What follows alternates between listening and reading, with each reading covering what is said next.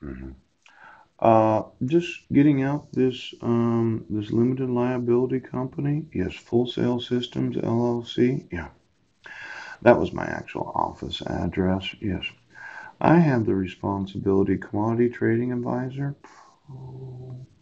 See, when you learn about being a registered agent because you have your own business, yes, it says that um, uh, for the above named limited liability company, as such, I understand that it will be my responsibility.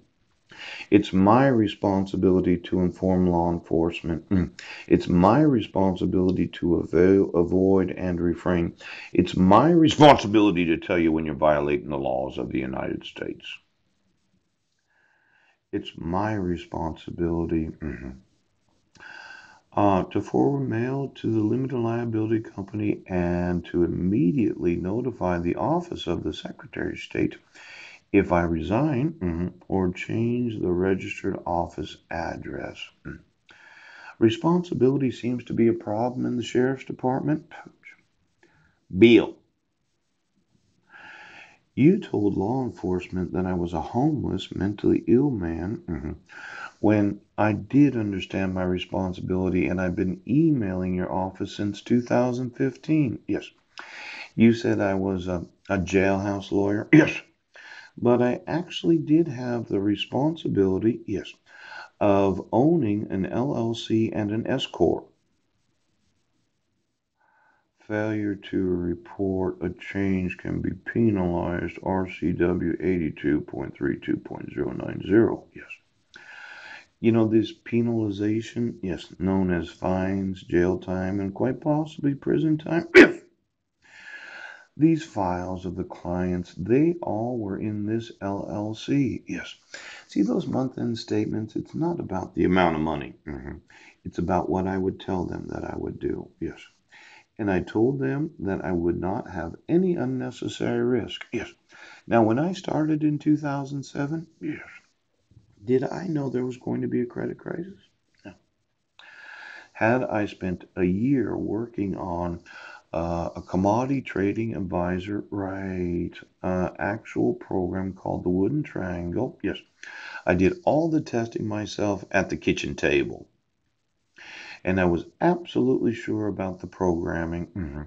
The problem is when the market does something different than it had did for the last oh probably 40 years. Mhm. See, Y2K really affected the stock market. Yes. But when you have a credit crisis, it affects uh, the actual interest rates of mortgages. it does. Now, if you go on that on that drive, yes, I had to file as a CTA a certain document with the National Futures Association. Yes. And as much as you said, well, I was just trying to rip people off, I actually spent a year mhm, sitting at the kitchen table working on my own programming. now I know I'm mentally. Well, the truth is, Sheriff, yes, mhm, I'm what you call above average intelligence, yes, but I just I don't work to my potential. Now I'm wanting, yes, to file some lawsuits. The NFA doesn't accept everybody's idea about how to trade clients' accounts unless they actually read the documentation.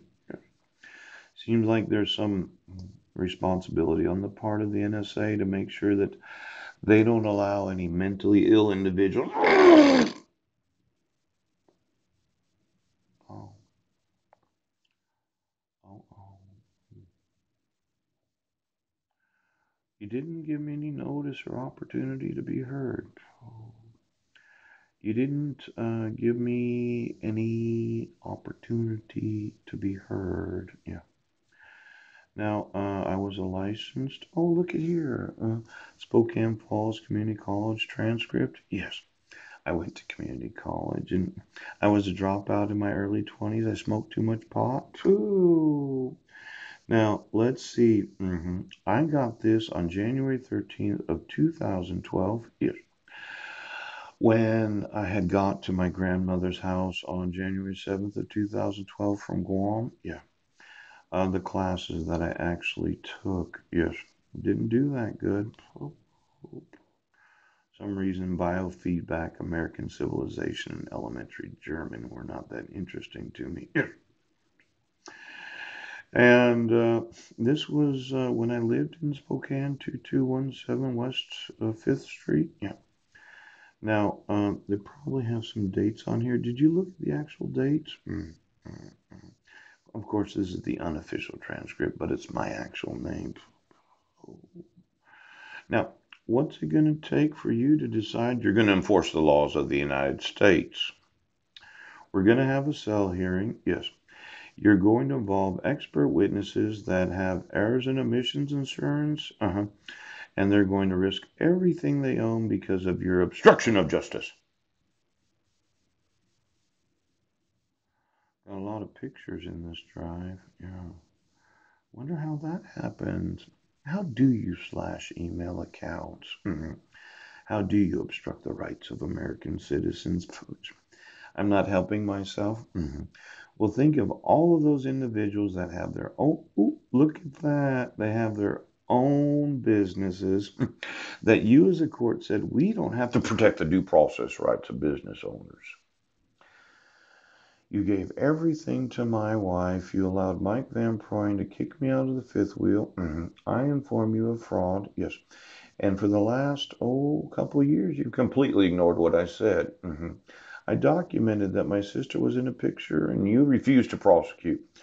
Mike sent me a text message in 2013 that if I ever attempt to contact Mike in Maryland, yes, that he'd, he'd call the authorities on so you allowed somebody to turn the electricity off on an individual that was volunteering in the church, yes, instead of obligating them to evict me, mm-hmm, so that I'd be I'd have to take all my shit with me, including my backup drives that have all the documents. Now, as a sheriff's fucking department, you sure the fuck don't seem to understand the necessity of forcing the laws. Letter of redemptive need. Oh. You know, I send uh, emails that have pictures in them. Yes, I used to write long emails, and then over the years, I've realized how stupid sheriffs are and police officers. Yes, you get confused when I have too many fucking sentences. Now, let me see here. I'm writing this letter as an extension of plea mm-hmm, for my personal well being and the future well being of my family. Uh-huh. I've included in the recipients of this letter four individuals that I feel can help the most in my pursuit of truth regarding my current situation. Oh, namely Governor Eddie Calvo, and by extension, his Chief of Staff, Lieutenant Governor Ray Tenorio. Steve Martinez, the deacon of the Catholic Archdiocese, yes, and former Lieutenant Governor Frank Blas Sr. Oh, oh, oh.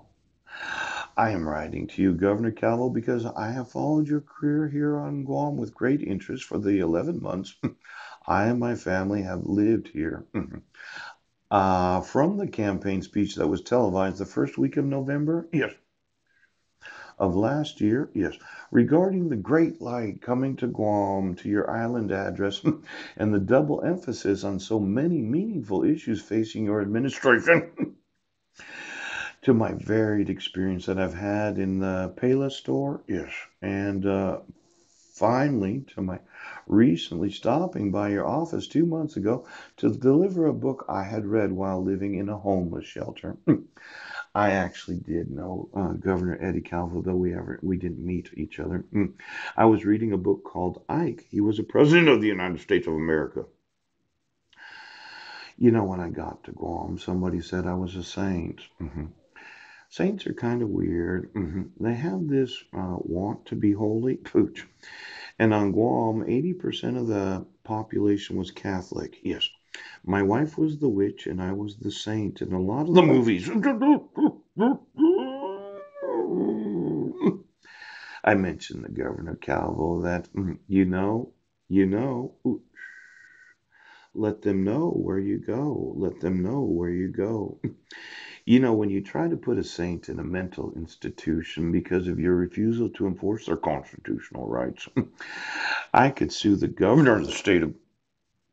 Oh, somebody doesn't like saints. Ooh. Then there's uh, mhm, mhm, writing to Lieutenant Governor Ray Tenorio at that time. He was a big one on writing editorials to the newspapers. Yes. I had um, a person, Jay Merrill. Yes. He once told me, read the newspaper. Yes.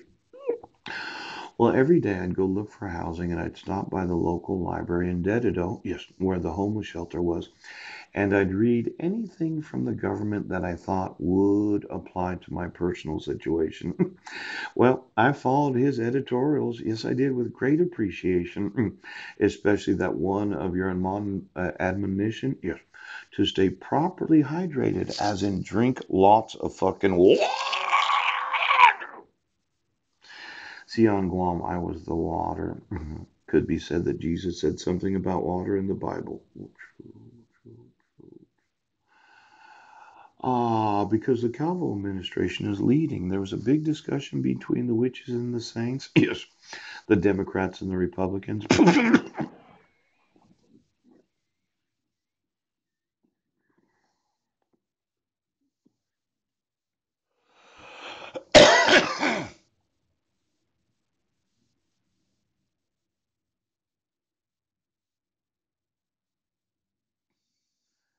the water